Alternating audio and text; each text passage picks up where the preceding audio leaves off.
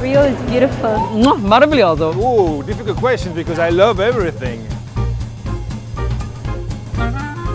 Eu acho que já faz parte da Olimpiada que as casas nacionais tentam fazer um espaço para vocês, a reunião dos fãs, dos uh, atletas, de todo mundo.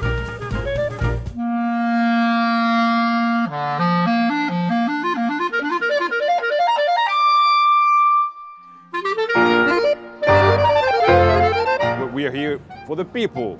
We're going to inform the people, we're going to let the people experience Switzerland. So it's a kind of publicity and fun and communication about Switzerland.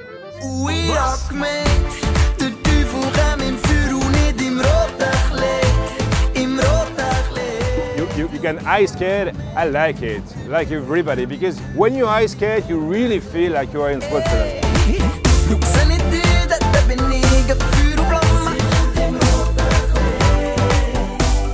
In Switzerland, we think about Rio, you immediately think about Ipanema, Copacabana, Palo de Açúcar. No, this is Rio. You're in the middle of Rio, people have time, they're walking around the Lagoa and they are interested, you know. You have less chaos and less energy than in the two beaches. This is, to me, my best place of Rio, and I think I'm not the only one to, to love this place.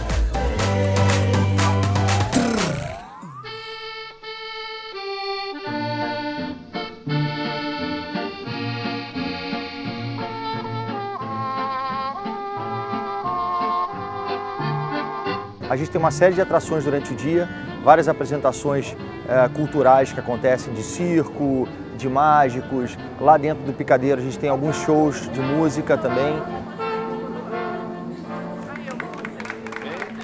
Tem uma praça de food truck muito legal, com várias culinárias eh, francesas aqui dentro do Clube France. Uma loja incrível da Lacoste, onde você pode comprar o uniforme da delegação francesa que está competindo aqui nos Jogos Olímpicos. E a gente tem essas oito festas. E com a Olimpíada esquentando, acaba ficando bem interessante vir assistir os esportes olímpicos aqui, com as imagens da TV France ao vivo nos dois telões do evento.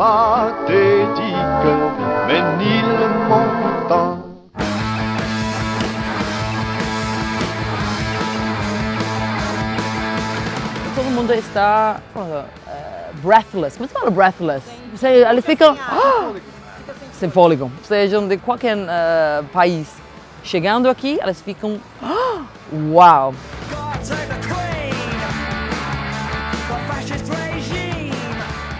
Que tipo de coisa estamos tentando fazendo com, com essa casa? Né? Parte cultural, esporte, negócios, ciência, educação, tudo.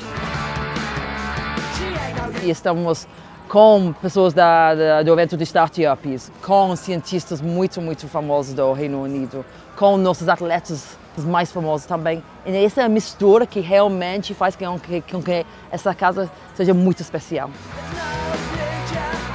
É uma comida mais ou menos britânica, eu vou falar. Uma cerveja britânica, não, mas gin and tonic, maravilhoso. Está aí de camarote, eu bebendo gela, tomando siroque. Então temos é, um bar de gin e um bar de whisky que são vale a pena provar.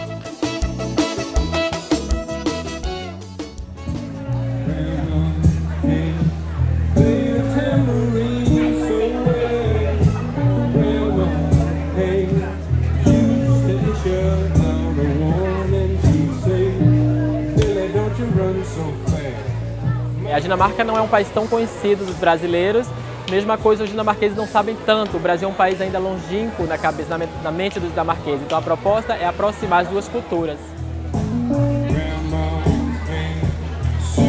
No período da tarde, sempre das 5 às 7 da noite, há DJs. Então tem DJs brasileiros, DJs dinamarqueses tocando e durante esse período é um público mais jovem.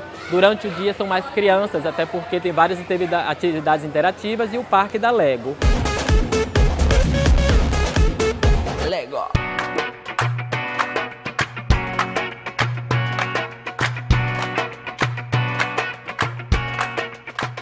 House is the uh, soul of Qatar and the heart of Rio.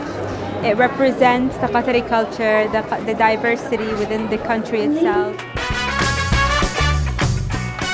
There are a lot of activities that people can do here with through henna painting, Arabic calligraphy, and exhibitions uh, that represents both sport and uh, Qatar as a whole.